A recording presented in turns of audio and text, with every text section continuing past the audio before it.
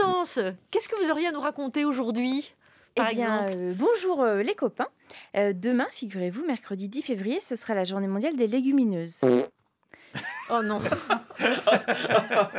Pois chiches, Non, lentilles, pois cassés, Oh haricots rouges, fèves et j'en passe. Avec les masques, on voit Sont- pas qui c'est qui pète.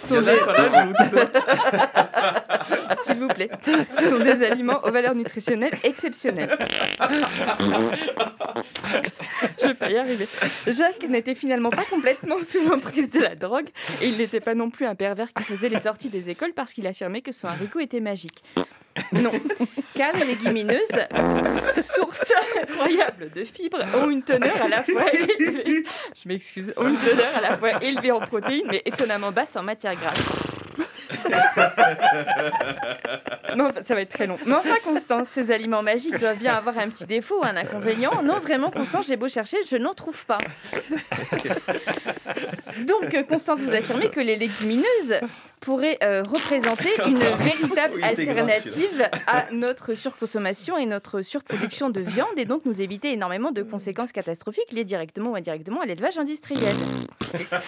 Mais oui, tout à fait, Constance. C'est absolument ce que je suis en train de vous dire avec ma bouche, en parfaite petite bobo islamo-gauchiste sataniste. euh, mais rends-moi ma redevance, salope.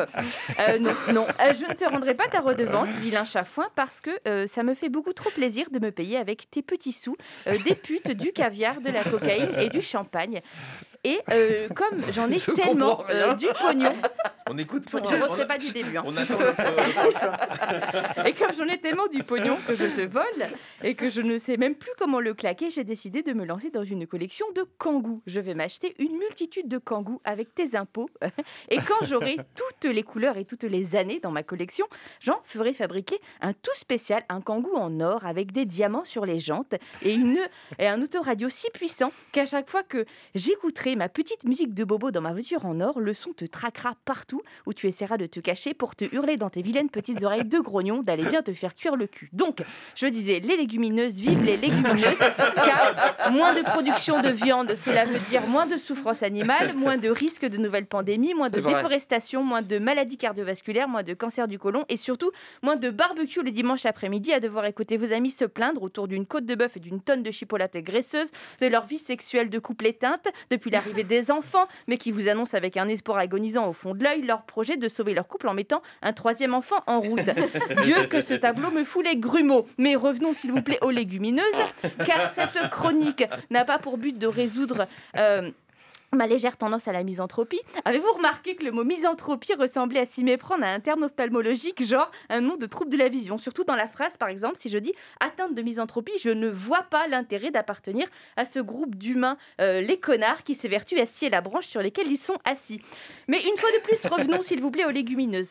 Car cette chronique n'a pas non plus pour mission de m'attirer les foudres de tous les ophtalmologistes misanthropes fans de viande rouge opposés politiquement à la prolifération du kangou et dont une femme est enceinte du troisième enfant. Non, cette chronique a pour mission simple et humble de sauver l'humanité. Et non, ce ne sera pas un héros en moule bite qui débarquera pour sauver le monde. C'est à nous de faire des petits efforts au quotidien pour changer nos habitudes et remplacer en partie, j'ai bien dit en partie, la viande par des légumineuses. Ça pourrait éventuellement offrir un avenir au petit troisième de la femme de l'ophtalmo. Et pour les gens qui pensent que cette chronique euh, me prête des airs de donneuse de leçons ou carrément euh, qui iraient jusqu'à penser que je me la pète, vous pourrez euh, adresser vos plaintes directement à Charline parce que euh, ce que je viens de développer est une conséquence directe de ce qu'elle m'a ordonné de faire hier. Vous revenez demain, euh, Constance. Hein Si- Dites donc si c'est la journée mondiale de la grosse caisse, euh, vous venez avec l'instrument ou on doit s'attendre à pire Je sais pas. Ah merde. Bonsoir, pardon. Oui, bah, je, je ne dis plus rien. Je vais simplement sobrement désannoncer Constance. Euh, je ne vous dis pas merci parce que je dois enchaîner sur la philosophie de l'Antiquité.